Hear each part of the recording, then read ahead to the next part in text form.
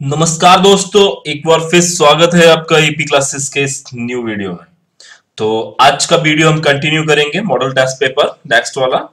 तो पहला क्वेश्चन हिंदी से है कि शब्द की न्यूनतम इकाई क्या कहलाती है? इसका आप लोगों को वेरी शॉर्ट में आंसर लिखना है वन लाइनर आंसर है, जैसा कि आप लोगों को पता है कि किस टाइप के क्वेश्चन आएँगे और किस टाइप के आपको आंसर लिखने हैं। शब्द की न्यूनतम इकाई क्या कहलाती है? इसका आंसर है वर्ण। अगला प्रश्न, कंठ वर्ग के व्यंजन कौन कौन से हैं? ऐसे कौन से व्यंजन हैं जो कंठ वर्ग के अंतर्गत आते हैं? तो आपको बता दूँ कि ऐसे कौन कौन से व्यंजन हैं? क, ख, ग, घ और ये आपके जो व्यंजन है या कोई कंठ वर्ग में आते हैं। अगला प्रश्न, वह ध्वनि का उच्चारण स्थान क्या है? इस ध्वनि का उच्चारण स्थान क्या है? तो ध्वनि का उच्चारण स्थान क्या है? तालव। तालव। इस ध्वनि का उच्चारण स्थान क्या है दोस्तों? तालव। अगला प्रश्न, सर्वनाम कितने प्रकार के होते हैं? तो इसका आंसर सभी लोगों को पता है। तो इसका आंसर है छ सर्वनाम जो है, वो छह प्रकार के होते हैं। अगला प्रश्न देखते हैं कि हिंदी में वाच्य के कितने भेद हैं? हिंदी में वाच्य के कितने भेद होते हैं? हिंदी में वाच्य के तीन भेद होते हैं। कितने भेद होते हैं दोस्तों? तीन। और कौन कौन से होते हैं? कर्तवाच्य कर्मवाच्य और भाववाच्य ये तीन भेद होते हैं। और मैंने यहाँ पे ऊपर वाले प्रश्न बताया कि सर्वनाम के कितने भेद होते हैं? सर्वनाम के छह भेद होते हैं। वो मैं आपको नाम बता देता हूँ। पहला भाग होता है पुरुषवाचक, दूसरा निश्चयवाचक, तीसरा अनिश्चयवाचक, चौथा संबंधवाचक, पांचवा प्रश्नवाचक और छठा होता है निजवाचक। तो ये अभी तक के हिंदी के पाँच प्रश्न थे, जो हम लोगों ने कंप्लीट किए हैं। और आगे प्रश्न हम देखते हैं तो बढ़ते हैं नेक्स्ट प्रश्न पे। संबंध कारक का चिन्ह कौन सा होता है? तो संबंध कारक का चिन्ह कौन सा होता है? तो संबंध कारक का चिन्ह क्या होता है, आप लोगों को पता ही होगा। का, की, और के। ये संबंध कारक के चिन्ह होते हैं। अगला प्रश्न मूर्ध का संधि विच्छेद कीजिए। मूर्ध का संधि विच्छेद क्या होगा? ये संधि विच्छेद और कारक पे थोड़ा ज़्यादा ध्यान दिए संधि विच्छेद के दो या तीन प्रश्न आने की उम्मीद है। तो संधि विच्छेद में इसमें जो संधि विच्छेद होगा, वो होगा मुँह और धन ऊर्ध। ये इसका संधि विच्छेद हो जाएगा और इसमें जो होगी, वो होगी दीर्घ माफ़ कीजिएगा, दीर्घ स्वर संधि। कौन सी स्वर संधि होगी? दीर्घ स्वर संधि। अब देखते हैं अगला प्रश्न। Give the correct part of speech of the underline word तो जो अंडरलाइन वर्ड है it is a unique book इसका करेक्ट पार्ट ऑफ़ स्पीच लिखना है। तो इसका पार्ट ऑफ़ स्पीच क्या हो जाएगा? एडजेक्टिव एडजेक्टिव इसका पार्ट ऑफ़ स्पीच होगा। देखते हैं अगला प्रश्न। Transform the following sentence by using too इस सेंटेंस को she is over anxious for the safety of her son इस सेंटेंस जो है, इसको आपको ट्रांसफॉर्म करना है रिराइट करना है, जिसमें आप टू का इस्तेमाल कर पाए। कल हमने आपको प्रश्न बताया था जिसमें आपको टू हटाना था। और आज हमको, आज हमने प्रश्न लिया है जिसमें आपको टू यूज़ करना है। तो वो, इसका क्या शब्द लिखेंगे हम? लिखेंगे हम कि सी इज़ ओवर एनेक्सियस को हम लोग लिख सकते हैं यहाँ पे टू एनेक्सियस ठीक है? Too anxious for the safety of her son बाकी का सेंटेंस पूरा यहीं पे आ जाएगा. For the safety of her son she is too anxious over anxious को हम लोग टू एनेक्सियस में चेंज कर देंगे. अगला प्रश्न देखते हैं इंग्लिश में. Word opposite in meaning of atheist atheist का ऐसा वर्ड लिखना है जो उसका मीनिंग उल्टा हो अथीस्ट का। तो अथीस्ट का उल्टा क्या होगा? Believer B E L I E V E R believer believer इसका उल्टा शब्द हो जाएगा। अगला प्रश्न देखते हैं कि word similar in meaning of industrious industrious शब्द का जो सिमिलर मीनिंग का शब्द हो, वो लिखिए। तो इंडस्ट्रियस का जो सेम रीडिंग का वर्ड होगा, वो क्या हो जाएगा? डिलीजेंट इसका मीनिंग क्या हो जाएगा? लिख देता हूँ मैं यहाँ पे। डिलीजेंट डिलीजेंट दोस्तों, जैसा कि अभी हमने आपको बताया कि किस, इस परीक्षा में आपको कैसे पास होना है कौन कौन से टॉपिक को आप ज़्यादा कवर अप करें, ज़्यादा ध्यान दें तो उसी के हिसाब से हमने ये अपना मॉडल प्रश्न पत्र चेंज किए हैं। हम उन सब्जेक्ट्स के क्वेश्चंस ज़्यादा इसमें हमने रखे ताकि आप लोगों को उन सब्जेक्ट्स की तैयारी अच्छे से हो। अब देखते हैं अगला प्रश्न कि give the appropriate synonym of word opulent opulent का अप्रोप्रिएट सिनोनिम लिखना है आपको।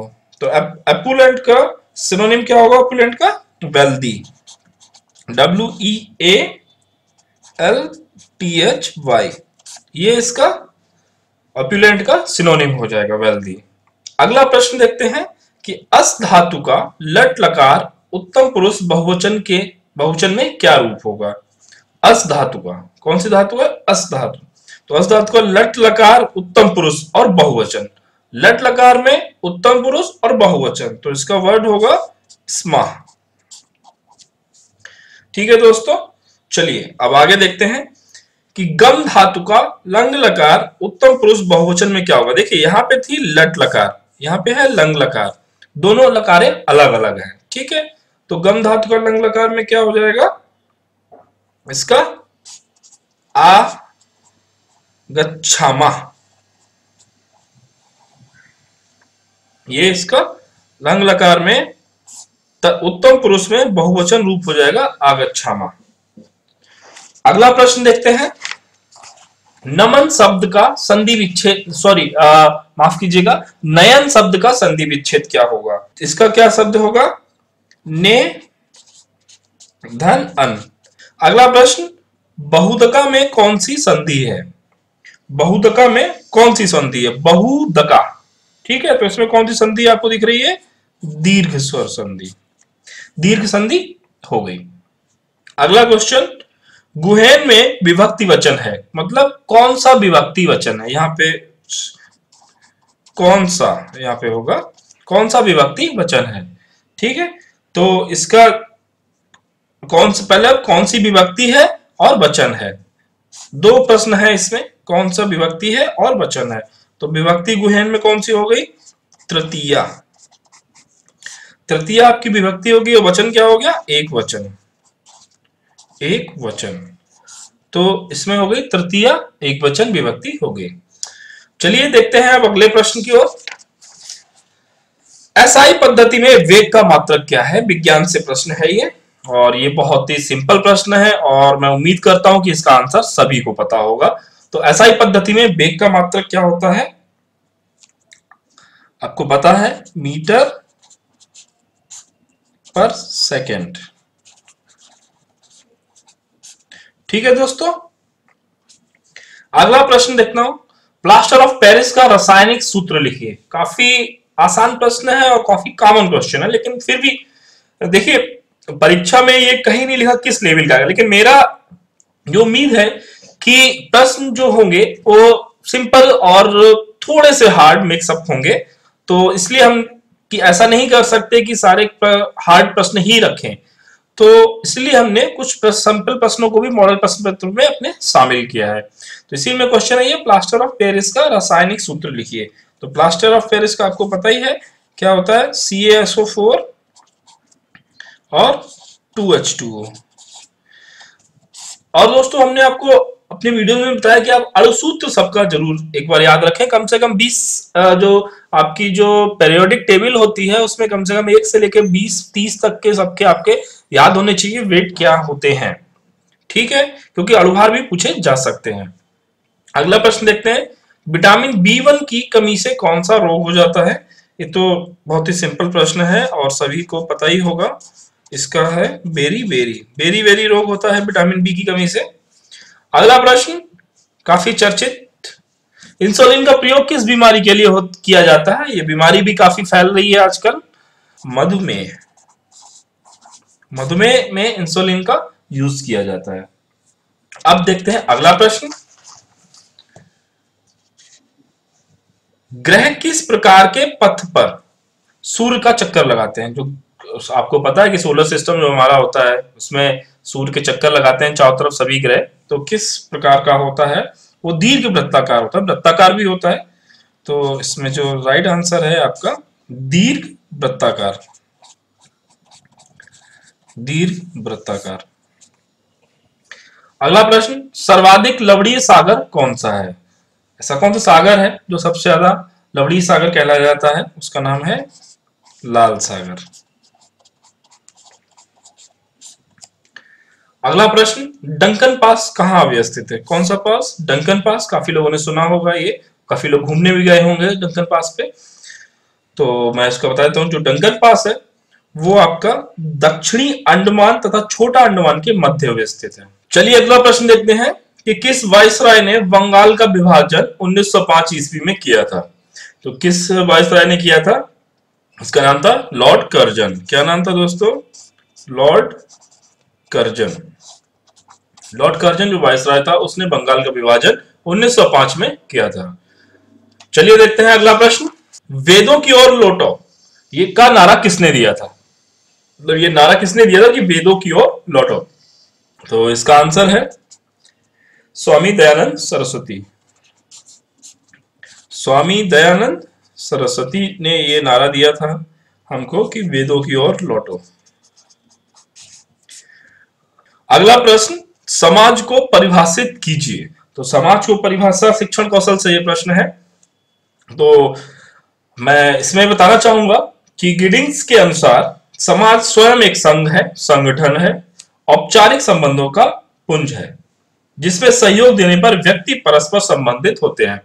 यह इसका आंसर है। आप इसको शॉर्ट में लिख सकते हैं कि गिडिंग्स के अनुसार समाज स्वयं एक संघ है, संगठन है, औपचारिक संबंधों का पुंज है। तो ये एक वेरी शॉर्ट टाइप आंसर आपका हो जाएगा। शिक्षण सॉरी सूक्ष्म शिक्षण के जन्मदाता कौन है? सूक्ष्म शिक्षण के जन्मदाता कौन है? तो ये है स्टैनफोर्ड विश्वविद्यालय के professor D W L M. इनको माना जाता है इसका। क्या नाम है इसका? मैं नाम आपको लिख देता हूँ यहाँ पे। Professor D W L N ठीक है? इनको इसका जन्मता माना जाता है। अगला प्रश्न, पी मोस्ट कार्यक्रम क्या है? पी मोस्ट कार्यक्रम क्या है? ये आपसे पूछा गया है, इसकी फुल फॉर्म नहीं पूछी गई है। इसका पूछा गया कार्यक्रम है क्या?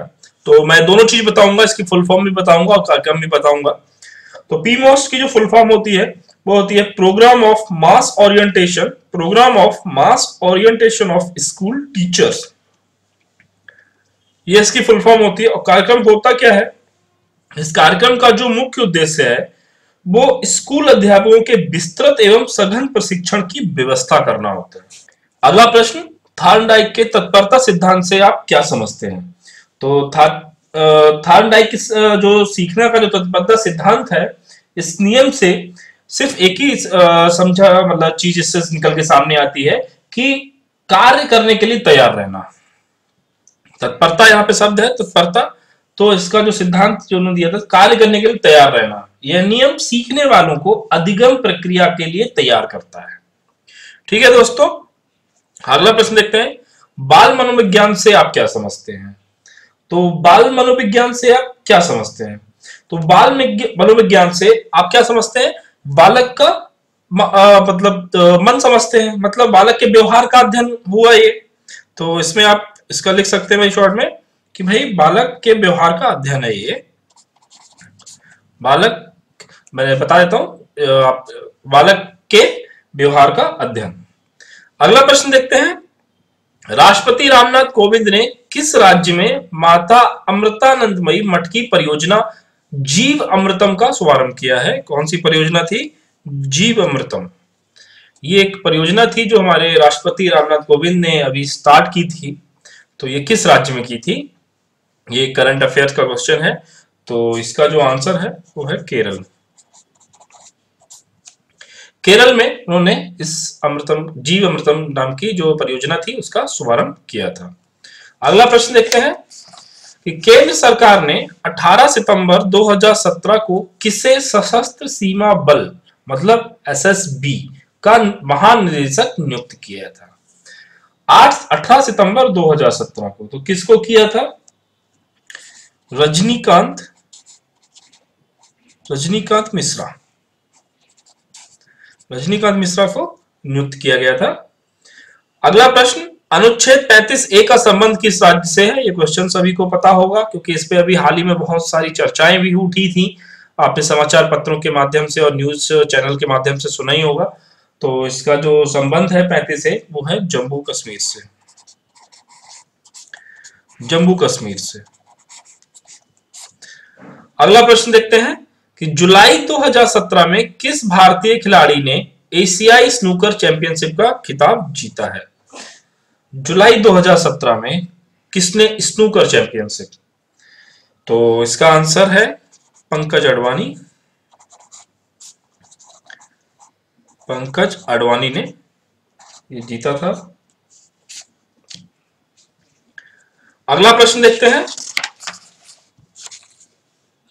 भारत और चीन के मध्य किस स्थान को लेकर विवाद है। काफ़ी चर्चित विवाद है और काफ़ी ज़्यादा न्यूज़ चैनलों में उठा था ये विवाद। तो एक किसका आंसर तो पता ही होगा, डोकलाम, जिसको हम लोग डोकलाम विवाद भी बोलते हैं। डोकलाम विवाद। अगला प्रश्न, चैंपियंस क्रिकेट ट्रॉफी 2017 का खिताब किस देश ने जीता है? तो इसका आंसर क्या है दोस्तों? पाकिस्तान। और किसको हराया था? भारत को। संघाई सहयोग संगठन का शिखर सम्मेलन जून 2017 में किस शहर में संपन्न हुआ था? तो किस शहर में हुआ था? इसका आंसर है अस्ताना। अगला प्रश्न देखते हैं। हाल ही में किसे पीसी चंद्रा पुरस्कार से सम्मानित किया गया है? पीसी चंद्रा पुरस्कार से हाल ही में किसे सम्मानित किया गया है? कैलाश सत्यार्थी को। कैलाश सत्यार्थी। ठीक है दोस्तों, चलिए अगला प्रश्न देखते हैं। ओईआर क्या है? Open educational resource. ये है इसकी फुल फॉर्म और ये ओ e जो है ये है क्या? एक्चुअल में सभी को निशुल्क मतलब चीज़ें निशुल्क जो किताबें हैं, वो उपलब्ध कराती है।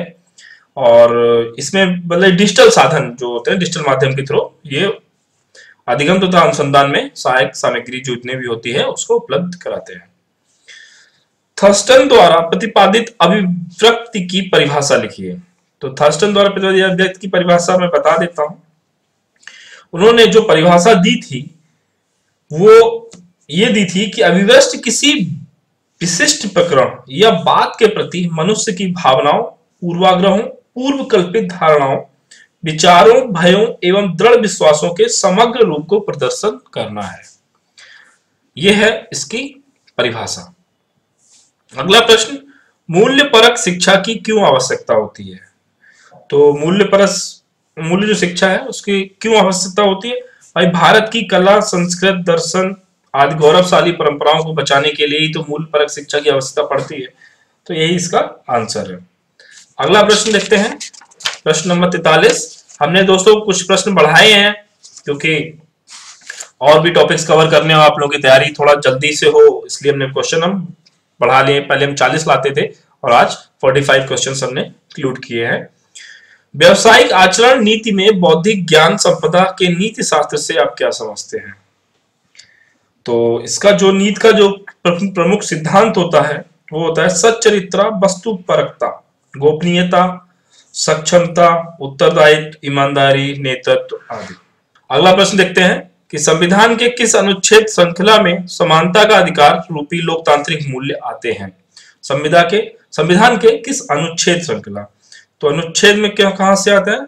बारह से अठारह। बारह से अठारह में ये सब आते हैं।